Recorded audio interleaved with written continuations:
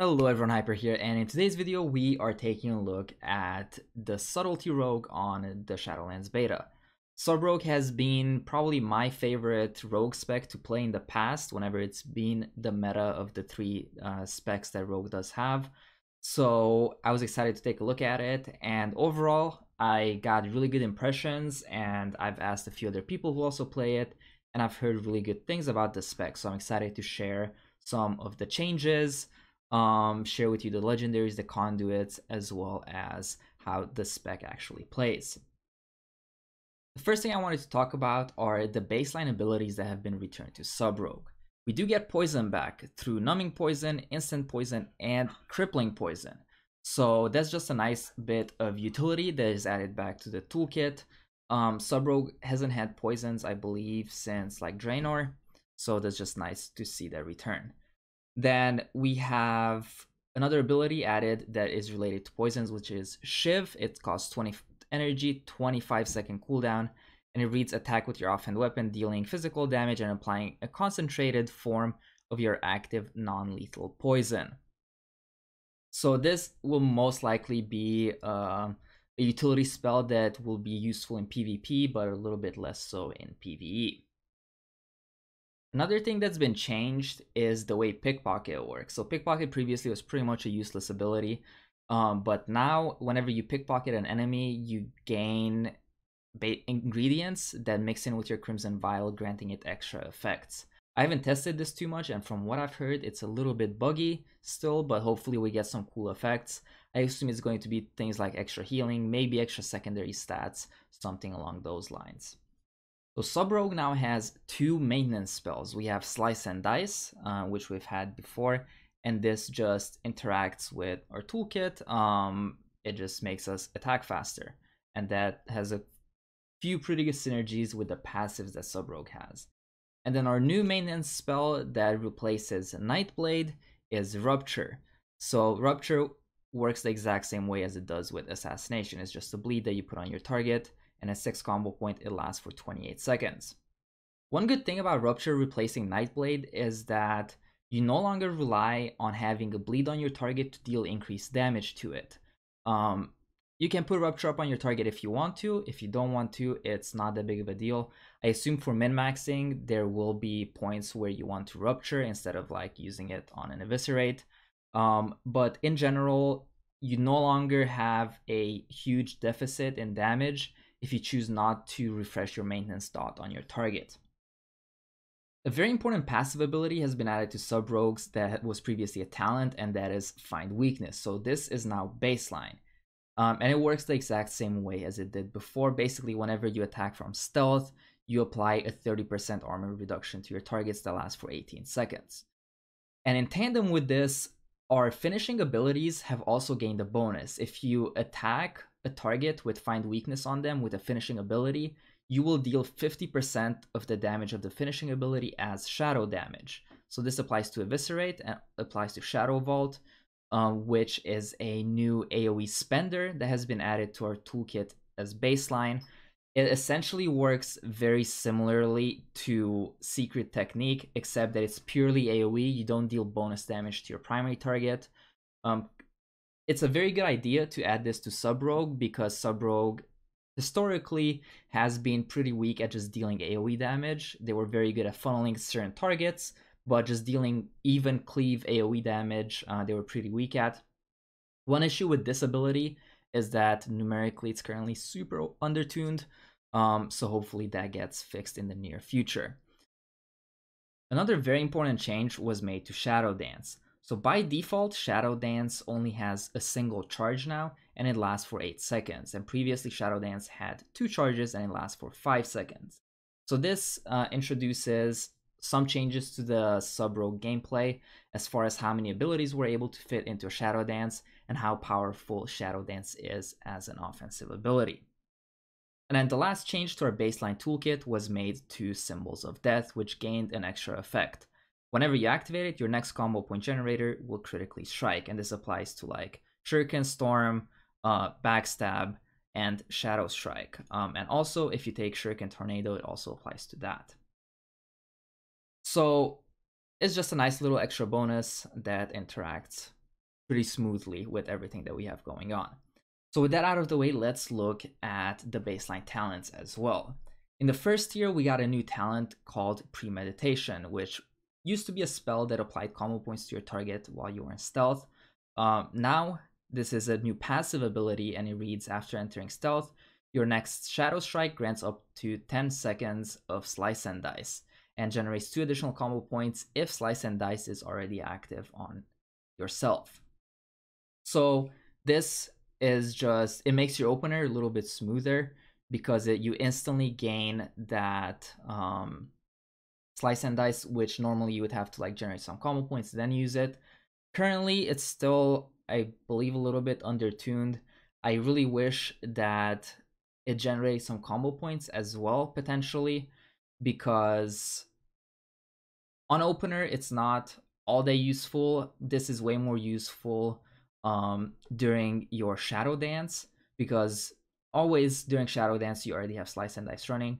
So instead of getting the 10 seconds of Slice and Dice, you will actually be getting extra combo points.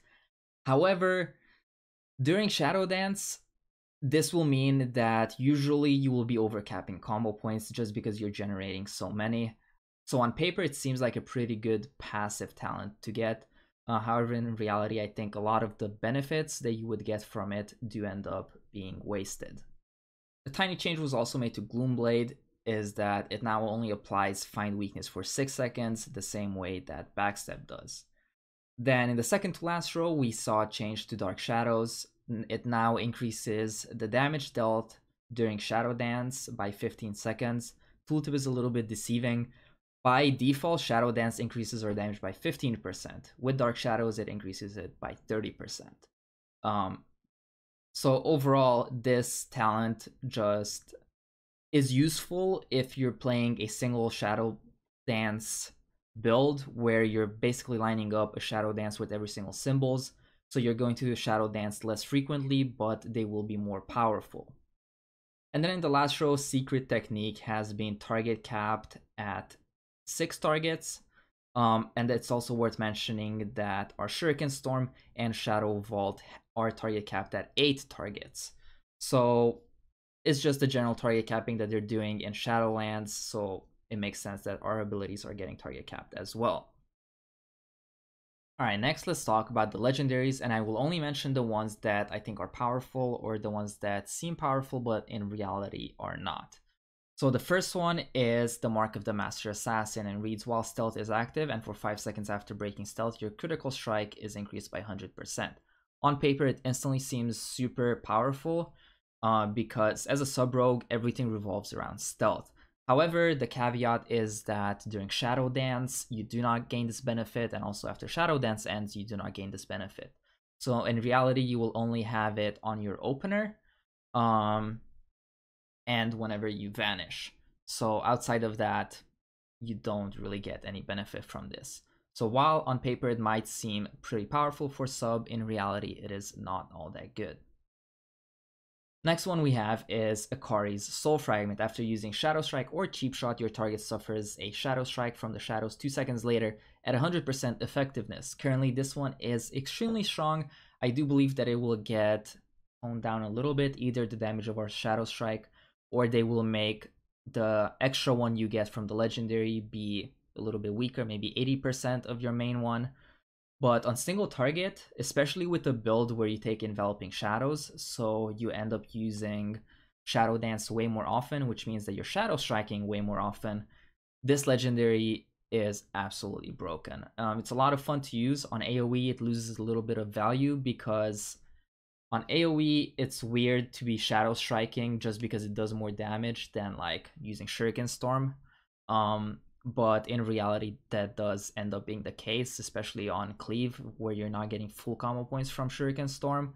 So currently it's a little bit weird and i think it's too strong on single target uh, but the downside is that it loses a lot of value on aoe next up we have finality which reads eviscerate rupture and shadow vault increases the damage of your next use of the finishing move by 20 percent so this one, in my opinion, is the one that's going to be good in Mythic Plus and on AoE because in those situations, you're always just alternating between using a Shuriken Storm and then a finishing move, either Eviscerate or Shadow Vault, assuming that they uh, change the values on it and it actually does comparable damage. So basically, getting extra damage on your finishing moves will be a lot more beneficial on AoE where you're generating a ton more combo points than you do on single target. Alright, next let's take a look at the Covenant abilities, because Rogue has some fairly interesting ones. First one is Kyrian, and we have Echoing Reprimand, which is a 45 second cooldown. It deals arcane damage to an enemy, extracting their anima to anima charge a combo point. Damaging finishing moves that consume the same number of combo points as the anima charge deal damage as if they consumed 7 combo points. Okay, so this one, the wording is fairly uh, convoluted, so let's break it down on how it actually works. Basically, you use this ability on a target, and it will pick either two, three, or four combo points to supercharge. The next time you use that specific number of combo points, and on the default UI, this will like glow, you also get a buff with it. So let's say you rolled a three. The next time you use three combo points, it will behave as if you used seven. So, as an idea, this seems interesting because it forces you to pay attention to which combo point is anima charged. Um, and it kind of switches up when you want to use your abilities. You don't always want to use them at full combo points. However, in practice, this is extremely annoying to play with. Oh my god. Pretty much all the rogue specs generate combo points fairly randomly. You do have some sort of consistency, but in general, there is some ram- randomness to how you generate combo points.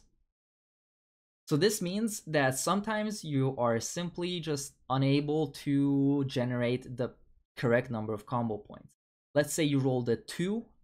Um, as an outlaw rogue, if you have a buff up that gives you extra combo points, you will never have 2 combo points because you're generating more than that every time you press a button. As a sub rogue, sometimes you generate combo points while auto attacking, um, so it's just a nightmare to use in practice. While the idea is pretty cool, in practice, I think it falls very short of what people are expecting from it. Next one is the Venthyr ability called Slaughter. Slaughter the target, causing physical damage. The target's anima mixes with your lethal poison, coating your weapon for the next 5 minutes. Slaughter poison deals shadow damage over 12 seconds and steals 15% of the healing done to the target and awards 2 combo points. So this one is instantly a PvP ability to me um, because in PvE you rarely benefit from stealing healing that enemies receive since enemies very rarely get healed in PvE. But in PvP this might be pretty good. Also, it does replace your lethal poison. So as a sub rogue, we do not have uh, access to deadly poison, so Slaughter would essentially act as a beefed up deadly poison. But in general, I think there's the other Covenant abilities are a little bit better. So while this one might see some use in PvP, um, in PvE, raiding Mythic Plus, I don't think it will be too useful.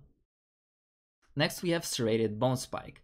Embed a Bone Spike in the target dealing bleed damage every 3 seconds until they die. Uh, it deals damage and it generates one combo point per active Bone Spike, refunds one charge when the target dies or is healed to full health. So by default, this is a 30 second cooldown. It costs 10 energy and you have three charges. So this means that if you have three targets and you serrated Bone Spike the first target, you get one combo point. If you apply it to the second target, you get two combo points. If you apply it to the third target, you get three combo points. And also whenever they die, it refunds the charge. So this is extremely good for like Mythic Plus, um, any encounters with ads on them, any encounters where you're cleaving consistently, uh, even in PvP potentially, since targets do get healed to full fairly often, um, so you're getting bone spikes back. The way you use this ability is essentially just a replacement for your backstab. Shadow Strike is still better to press uh, instead of Bone Spikes, but Bone Spike only costs 10 energy, which means that it costs 25 less than your backstab and it will potentially generate more combo points and deal more damage. So overall, this button is super useful for Subrogue, and I'm very happy with how it interacts with the spec. And for Night Fae, we have Sepsis. This is a one and a half minute cooldown. Infects the target's blood, dealing nature damage over 10 seconds. If the target survives its full duration, they suffer an additional uh, amount of damage and you vanish from sight. Cooldown is reduced by 60 seconds if sepsis does not last its full duration. So this one might be interesting for builds that use the Vanish legendaries, either the Mantle of the Master Assassin, which gives you 100% crit for 5 seconds, um, or the legendary that grants you 5 combo points every time you vanish. So in those regards, it might be decent. However, in practice, I think it's a little bit undertuned compared to uh, especially the Necrolord one for sub. But this ability might be pretty cool to use on some of the other rogue specs. Next, let's take a look at the conduits, and I will only target the sub-specific potency ones. First off, we have Perforated Veins. Shadow Strike increases the damage of your next backstab by 30%, stacking up to 3 times. Um, so this one is just a general damage increase to our backstab. Next, we have Planned Execution. Uh, Symbols of Death increases your critical strike chance by 6%. This one is pretty interesting. Every six per every 30 seconds, getting 6% extra crit for 10 seconds is pretty beneficial. And plus, Sub Rogue typically revolves around cooldowns. You don't do too much damage outside of your Shadow Dance Symbols of Death combo. So getting any extra stats and extra crit in that little window is super beneficial. Then we have Stiletto Staccato. Shadow Techniques now also reduces the remaining cooldown of Shadow Blades by one second. So Shadow Blades basically works the same way as it did before, um, and this just gives us CDR on Shadow Blades, which is nice to have since a 3 minute cooldown is fairly long. And the last one is Deeper Daggers. Eviscerate and Shadow Vault increases your shadow damage dealt by 30% for 30 seconds. So a lot of the bonus damage that we deal with Eviscerate and Shadow Vault, if an enemy has find weakness on them, is shadow damage. So that means that we just end up dealing a little bit more bonus damage um, if you play the spec correctly. So overall, these don't alter our gameplay too much. Uh, they're just nice little additions, and in general, they made some pretty good decisions on beefing up our abilities that actually matter rather than just random buttons that we press outside of our little burst cooldown and burst windows. So lastly, let's talk about the gameplay because that's, I assume, what everyone is curious about. How does Subrogue actually play? Subrogue playstyle has not changed too much from what it's been in the past. And in my opinion, that's a good thing. I've always liked the way Subrogue played the issues with Sub Rogue were always that it was either too broken and it needed to be nerfed, or it was too undertuned and it was basically unplayable. So I hope that they find the right midpoint. Sub Rogue still plays very similar to how it did before.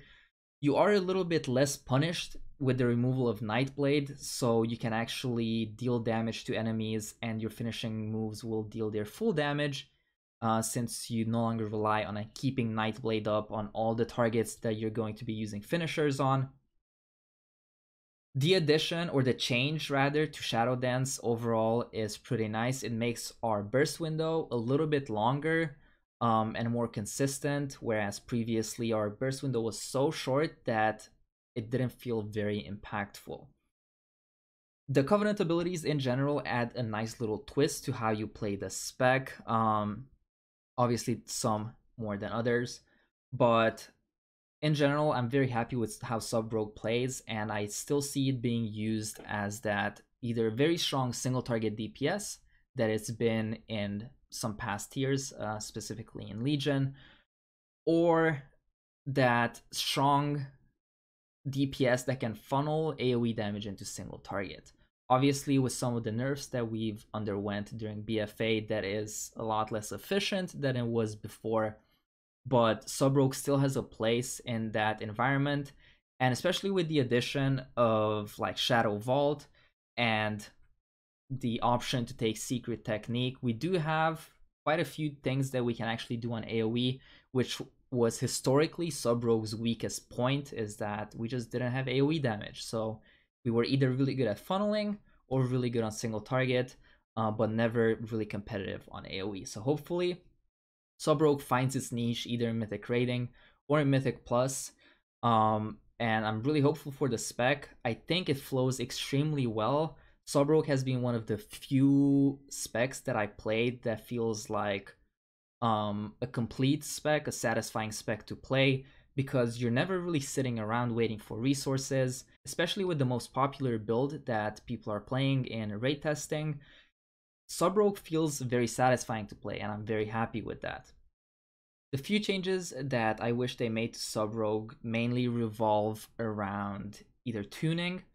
Um, I hope that they increase the damage of our finishing abilities and focus a lot more of our damage on Eviscerate um, and Shadow Vault on AoE instead of currently most of our damage will come from the Broken Legendary and its interaction with Shadow Strike. So I really hope that that gets fixed. Other than that, with the talents, we still have two pretty much useless talents that we'll never ever see play.